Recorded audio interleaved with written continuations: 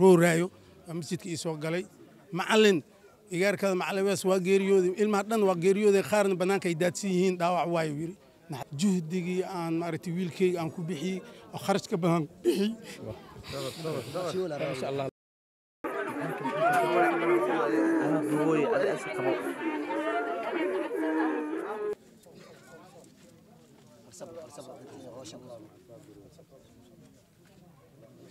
inna lilaahi wa inna ilayhi raajicuun waxaa halkan oo ah xaafad ku taalla buulo eelay degmada waaberi ee gobolka banaadir. Saakay ka dhacay waaberigii dhacdo naxdin leh. Hoobiye ayaa waxa uu ku soo dhacay mid ka mid ah guryaha ku yaalla degmada waaberi ee gobolka banaadir gaar ahaan xaafadan aan ku suganahay buulo eelay loo yaqaano. Halkan waxaa ku dhintay aabbe iyo laba carruur oo uu dhalay sidoo kale waxaa ku dhaawacmay hooyadii qoyska iyo sidoo kale laba carruur oo kale kuwaasi oo loo qaaday isbitaalada ku yaalla magaalada muqdisho. Xilli lagu jiro salaada subax ayaa la tilmaamay in hoobiye uu ku soo dhacay gurigan ku yaalla xaafadan. Macalinka dhintay ayaa waxa uu ahaa macalin dugsi qur'aan islamarkaana ahaa khadiibka masjidka. Aabihiisna waxa uu ahaa imaamka masjidka. Waxaana lagu magacaabaa macalin awees macalin maadey muudey ibraahim sidoo kale waxaa halkan ku dhintay laba caruura gabar iyo wiil uu dhalay. Waxaa halkan ku dhaawacmay xaaskiisii. Iyo sidoo kale laba caruura kale oo macalinku ka tegey waxaar ka bacdi waxaa loo qaadaya quburaha waa la soo aasayaa aabbaha dhalay oo lagu magacaabo macalin maadey muudey ibraahim ayaan ka wareysanay. Wixii saakay halkan ka dhacay. Walaalkeyga alxamdulilah masiib waa dhacday saakay. Masjidka aniga imaamaan ahay wiilkaad geeriyoodeen khadiibka masjidka u ahay anaa dhalay.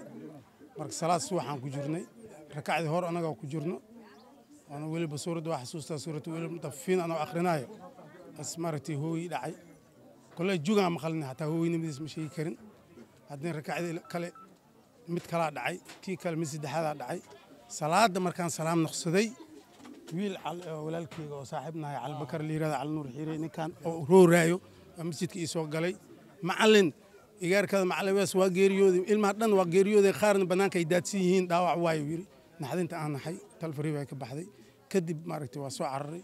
Anoon talfar ku hayni wiilkey oo waxaa imid oo maaragtay meel la fiiri kara korkiis dhamboor rafaadsan go'ay dhiigga daadsan.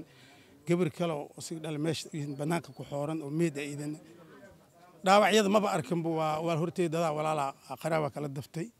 Marka hadda alxamdulilah ilaahay aa qoray yaa wiil aad aan u jeclahay ahay laakiin allah iiga jeclaaday oo shalay isiistay alxamdulilah ilahay aan ku maaday haa kuma hadda waxaa sariirta ii saaran saddex meed wiilkeyga ni aan dhalay iyo laba asiga dhalay gabar iyo wiil oo asiga dhalay sariirta ii saaran yihiin.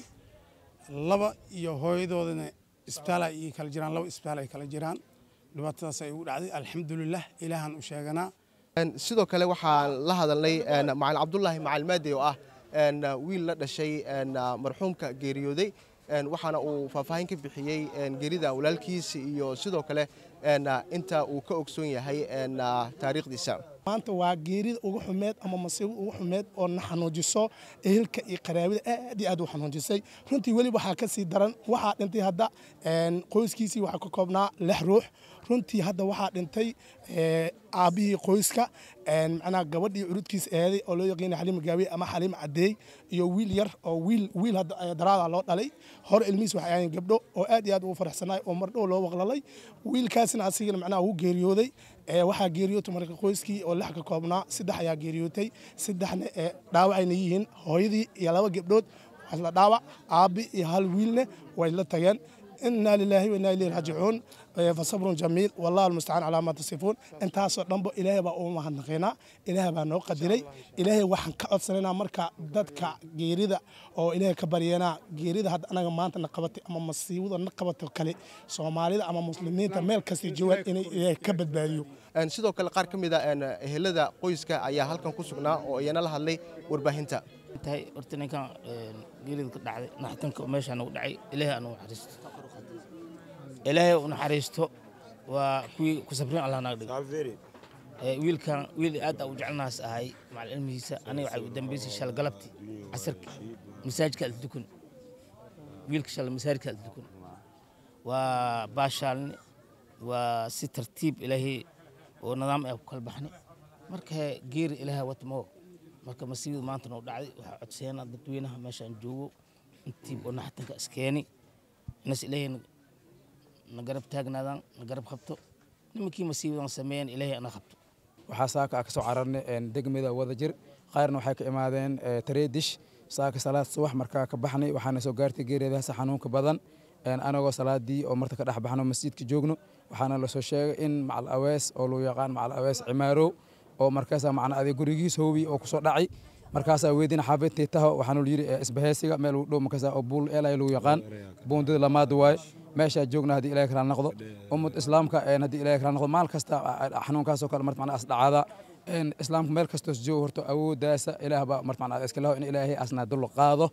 Islaamka meel kastoos joogo dhibaatadan allah ka dul qaado. Marka walaalahayn marta macna oo soomaaliyeedoona soo booqdeen insha allah ayukan ajir xasanaad allah ka siiyo. Zakariya axmed muuse tv-ga shabeelle muqdisho. Ku dooro xirmada bilaha unlimitedka adeega dhammays xawaare sare iyo qiimo jaban. Ku shuba shan iyo toban doolar oo keliya oo hel unlimited data internet iyo ku hadal aan kaa dhammaanayn muddo bil ah uga shuba io dahab koodh nambarka xidig hal eber hal afar gees